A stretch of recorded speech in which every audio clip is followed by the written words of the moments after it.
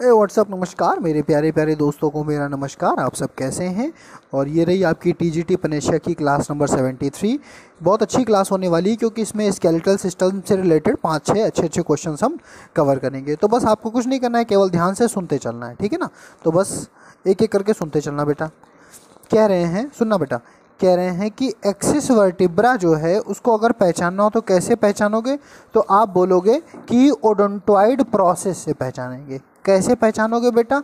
Odontoid process. क्या बोला हमने? जो हमने बोला उस शब्द को दोहराने का प्रयास करें। Odontoid process. है ना बेटा?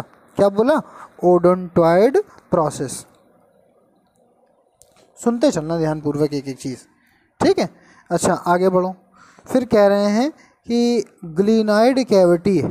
ध्यान देना। Glenoid cavity is found in pectoral girdle. आपने देखा होगा जो स्कैपुला होता है ग्लीनाइड कैविटी जिसको बोलते हैं स्कैपुला जिसको बोलते हैं तो उसमें ऊपर जैसे इस तरह का ट्रेंगुलर शेप होता है, फिर यहाँ से ये ह्यूमरस निकल के आता है। तो ये जो नीचे की स्पेस होती है, जो अंडर आर्म का स्पेस होता है that is called glenoid cavity क्या बोलते हैं? ग्लीनॉइड कैविटी सुनते चलना बस ध्यान से, ठीक है? तो पहली बात क्या थी कि axis vertebra identified by odontoid process दूसरी बात क्या थी कि ग्लिनॉइड कैविटी जो है वो पेक्टोरल गर्डल पेक्टोरल गर्डल में पाई जाती है। स्कैपुला के पास अंश मेखला बोलते हैं बेटा। एक होती है श्रोणी मेखला, एक होती है अंश मेखला। तो I am talking about the अंश मेखला दैट इज़ पेक्टोरल गर्डल और श्रोणी मेखला का मतलब होता है बेटा पेल्विक गर्डल ठीक है ना? चलो। आगे देखो एंड ऑफ़ लॉन्ग बोन्स जितनी भी बड़ी बड़ी बोन्स हैं, उनका जो लास्ट का एरिया होता है लास्ट की जो सरफेस होती है, उसको कौन कवर करता है बेटा? कार्टिलेज कवर करता है. End of long bones are covered with cartilage end of long bones are covered with cartilage अब पूछो भैया कार्टिलेज कौन बनाता है? तो कॉन्ड्रियोसाइट्स कार्टिलेज बनाने की ज़िम्मेदारी किसकी होती है? कॉन्ड्रियोसाइट्स कार्टिलेज कौन बनाता बेटा? कॉन्ड्रियोसाइट्स वोक्समैन कैनाल जो है, वोल्क नहीं पढ़ते, एल साइलेंट होता है। वोक्समैन कैनाल जो है, वो किसमें पाई जाती है? Bones of mammals. वोक्समैन कैनाल जो है, वो किसमें पाई जाती है? Bones of mammals. वोक्समैन कैनाल किसमें पाई जाती है बेटा? Bones of mammals. सुनते चलना बस एक एक करके। टर्नर सिंड्रोम, ध्यान देना टर्नर से, पहले पहले डाउन सिंड्रोम है, पहले उसको समझ लो थोड़ा सा। ये जो डाउन सिंड्रोम है, ये क्या होता है? ये trisomy of twenty first chromosome, वो भी autosome. Trisomy, Down syndrome twenty first chromosome में होता है, ऑटोसोम में। ठीक है? Forty five plus X X या एक्स वाई। ये अगर कभी आपके में क्वेश्चन पूछा जाएगा डाउन सिंड्रोम लिखा होगा तो बस यही मिलेगा लिखा हुआ सीधा सीधा। इसी पे आपको टिक लगाना है। अब आ जाओ, क्ला सॉरी टर्नर सिंड्रोम, ये फीमेल में होता है ज़्यादातर। ये नॉन डिसजंक्शन सेक्स क्रोमोसोम के डिसजंक्शन से होता है। Non disjunction of sex chromosome 44 ध्यान देना 44 प्लस एक्स ओ लिखा है ओ माने नहीं, एक एक्स क्रोमोसोम गायब हो जाता है। आई बात समझ में? देखो, कुल मिलाकर एक तरह से देखा जाए तो छियालीस गुणसूत्र होते हैं।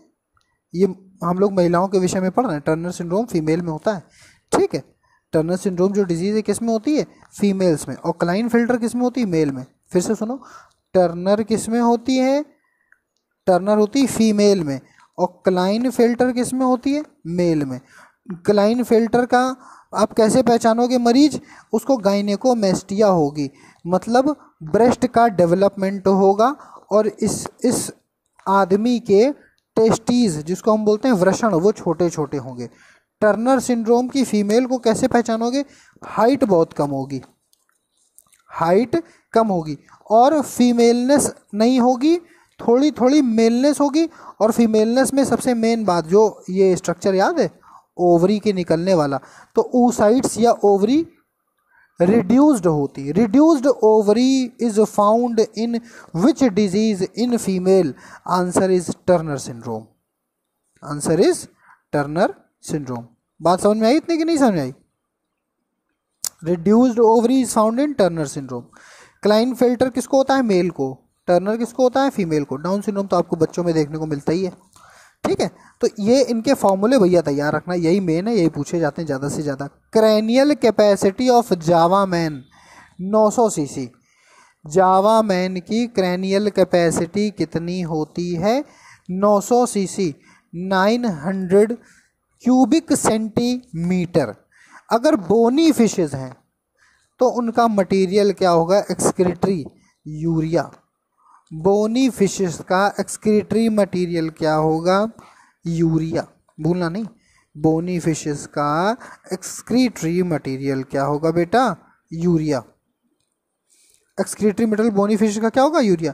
पीनियल बॉडी के क्या क्या काम है? कुछ पता है आपको? हम बताते हैं आपको। पीनियल बॉडी का पहला काम स्किन को लाइटन करना। जैसे इस समय सब हम लोग घर पे रह रहे हैं, धूप नहीं पड़ रही, धूप नहीं पड़ रही तो पीनियल बॉडी मिलेनिन नहीं बना रही है। हमारी त्वचा को आदेश दे देती है पीनियल ग्लैंड कि चलो मिलेनिन बनाओ, धूप से बचाओ अल्ट्रावायलेट रेस से बचाओ। लेकिन अब हम बाहर नहीं निकल रहे तो सब थोड़े थोड़े गोरे हो गए हम भी थोड़े से गोरे हो गए ठीक है, फिर कंट्रोल ऑफ़ सेक्सुअल बिहेवियर ठीक? और third one is regulate the period of puberty females में प्यूबर्टी पहले आ जाती है मेल में थोड़ा देर से आती है। एक बार इस पेज को पुनः पढ़ते हुए समझना। अगर हमें एक्सिस वर्टिब्रा को पहचानना है तो हम ओडेंटॉइड प्रोसेस देख लेंगे।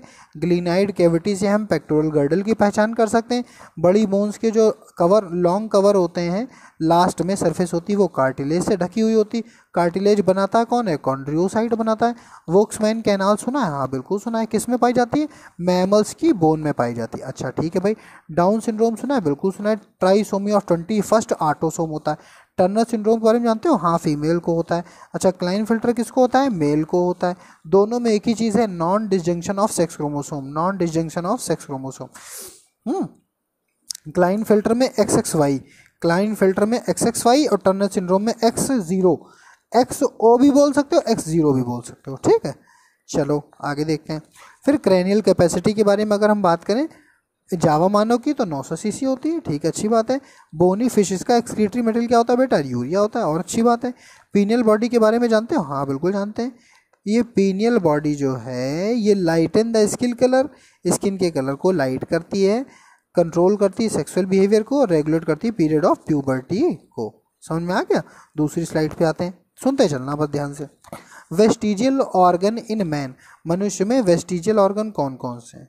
वेस्टिजियल ऑर्गन मैन तो भैया देखो, कुछ लोग टेल वर्टिब्री कहते हैं, बिल्कुल सही। कुछ लोग कहते हैं निक्टिटेटिंग वगैरह में, बिल्कुल सही। कुछ लोग कहते हैं वर्मी फॉर्म अपेंडिक्स बहुत सही। तीनों सही हैं। लेकिन कुछ बेवकूफ़ कह देते हैं नेल एकदम गलत। नाखून जो हैं, वो अवशेषी अंग नहीं है। वेस्टिजियल ऑर्गन नहीं है। नाखून नहीं होगा तो बत्ती जलाने के लिए जो स्विच दबाते हैं, वो दबा नहीं पाओगे, क्योंकि हड्डी लास्ट तक नहीं होती। हड्डी पहले ख़त्म हो जाती है नेल्स ही सपोर्ट करते हैं।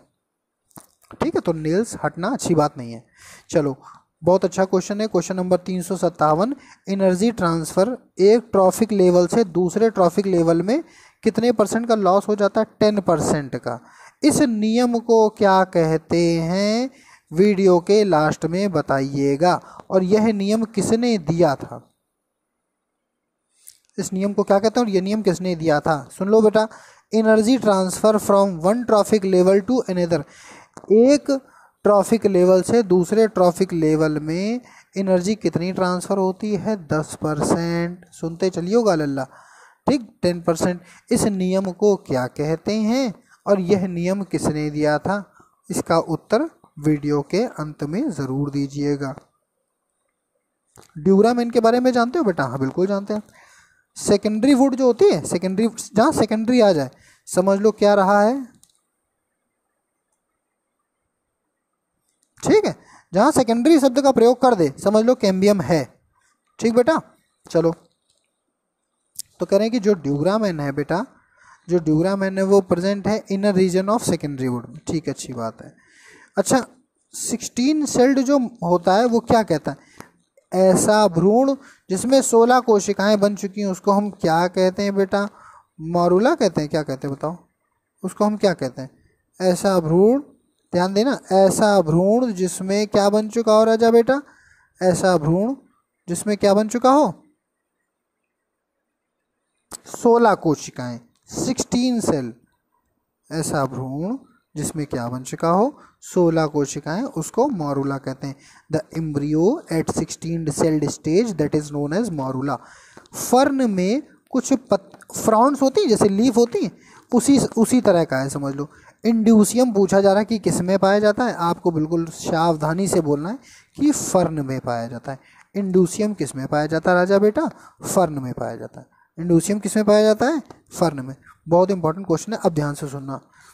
इनिशिएशन कोडाउन के बारे में बता रहे हैं, इनिशिएशन कोडाउन तो भैया देखो, इनिशिएशन माने क्या होता है? शुरुआत करना, है ना? इनिशिएशन माने क्या होता है बेटा? शुरुआत करना। जैसे मान लो हम ग्रुप में बैठे हैं और किसी का इंतज़ार कर रहे हैं कि वो आए तो शुरुआत हो तो हम लोग क्या कहते हैं? हम लोग कहते हैं, रुको बता रहे हैं एक सेकेंड हम लोग कहते हैं, आओ जी, तुम्हारी कमी थी। आओ जी, ये ट्रिक है छोटी सी। लोग भूल जाते हैं ना? अब नहीं भूलोगे। इनिशिएशन कोडॉन के बारे में बात हो रही है? किसके बारे में बात हो रही है? इनिशिएशन कोडॉन के बारे में। तो इनिशिएशन कोडॉन के अगर बारे में बात करें तो इनिशिएशन कोडॉन में आओ जी ए यू जी शुरुआत हो रही आओ जी और ए यू जी कोड करता है मेथियोनिन को। ए यू जी किसके लिए कोड करता है राजा बेटा? Methionine A U G codes for methionine chromosome को ध्यान देना, बहुत ध्यान से सुनना, बहुत इंपॉर्टेंट क्वेश्चन है कि इक्वेटोरियल प्लेट पे क्रोमोसोम कब लगते हैं, आपको बोलना है मेटाफेज में। इक्वेटोरियल प्लेट पे chromosomes are arranged in equatorial plate at metaphase chromosomes are arranged in equatorial plate at metaphase ध्यान देना बेटा। इंपॉर्टेंट क्वेश्चन है। ये क्रोमोसोम इक्वेटोरियल प्लेट पे कब जाकर लगते हैं तो आप बोलोगे मेटाफेज में। चलो क्लैंप कनेक्शन फंजाई वाले चैप्टर में बहुत पूछा जाता है क्लैंप कनेक्शन क्या है? चलो, आप बताना, एक क्वेश्चन तो ये बताना, तीन सौ सत्तावन वाला, दूसरा बताना, ये क्लैंप कनेक्शन क्या है? बस ये जान लो कि ये किस जगह पाया जाता है, किस ऑर्डर में, किस क्लास में पाया जाता है that is basidiomycetes basidiomycetes ठीक है?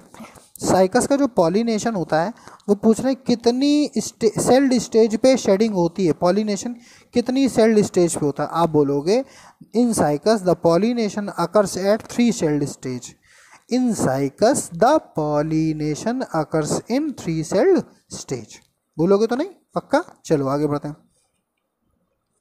The biomass of oxygen is Avena curvature test बहुत इंपॉर्टेंट क्वेश्चन है, बहुत ज़्यादा पूछा जाने वाला प्रश्न है। ये बायो ऐसे टेस्ट है ना, जो ऑक्सीजन का। पता है, कुछ नहीं, नौटंकी बिना मतलब कि चलो हम आपको समझा दे रहे हैं। एक थोड़ा सा देखना, ध्यान देना थोड़ा सा, हम चित्र बना के समझा दे रहे हैं।